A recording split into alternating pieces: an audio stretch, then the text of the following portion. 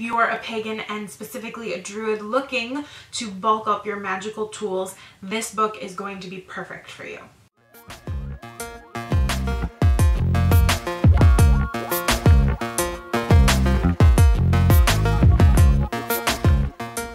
Hey there saplings, my name is Danni and welcome to Esoteric Moment. Today's book review is The Crane Bag by Joanna van der Hoeven. Pagan Portals has done it again. This is another super short, super sweet book that gives you the answers you are looking for in your pagan practice right when you need it. Joanna is obviously a fantastic author. Uh, her book, The Awen Alone, has gotten lots of really great attention and praise. And if you haven't seen that video, definitely check it out on my channel. I reviewed it a few years ago.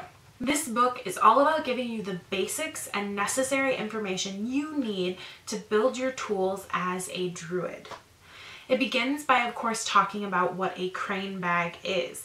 And the crane bag seems to be a pretty unique tool for druids. You don't see a specific bag as being a tool that many other pagan practices use um, as frequently as you do with druids. A crane bag is really the place that you kind of keep and store your magical tools or maybe just magical stones and fetishes that you find in the natural world. It serves the purpose of kind of passing wisdom on and empowering the wearer and owner of the magical bag.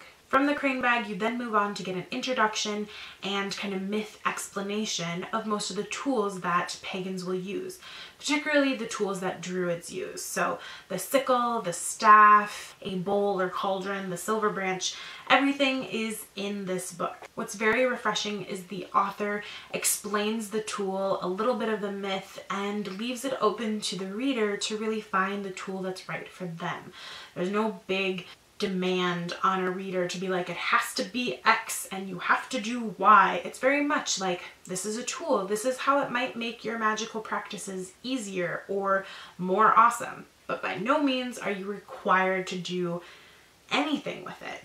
Interestingly enough, the book finishes by talking about druid ritual. So of course it uses the information about magical tools earlier in the book to incorporate those into the elements of ritual, meaning you get a feel for how those tools are actually practically used.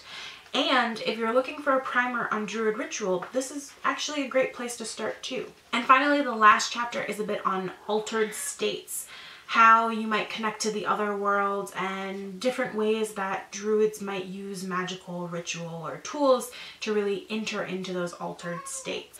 This book is only like 82 pages long, so I would probably recommend just checking it out from the library or getting it on Kindle. Um, it's super reasonably priced that way. I'm not really sure it's necessary for your bookshelf, but it is a great beginner book and perhaps if you're in the position where you're a teacher or you know you're in charge of a grove yourself then maybe having a couple of these cheap books on hand would be great to hand out to those who are really new or carrying with you to different pagan pride events or gatherings as a way of just answering some of those basic questions. Overall, fantastic book. Definitely recommend picking up, especially if you're a bit new to the practice. In the comments below, tell me what your favorite magical tool is and how you made or found it. Today's sapling shout out goes out to Cara Moore. She wrote a fantastic comment on my crane bag video where she talks about her own magical crane bag, her bodhrán, all the things that she's done already for her crane bag and the things she hopes to do with it. It's a really cool comment. And if you haven't seen my video for a crane bag, definitely go over, check that video out and the comment. Thanks for watching, and as always, may you find peace in the sacred grove.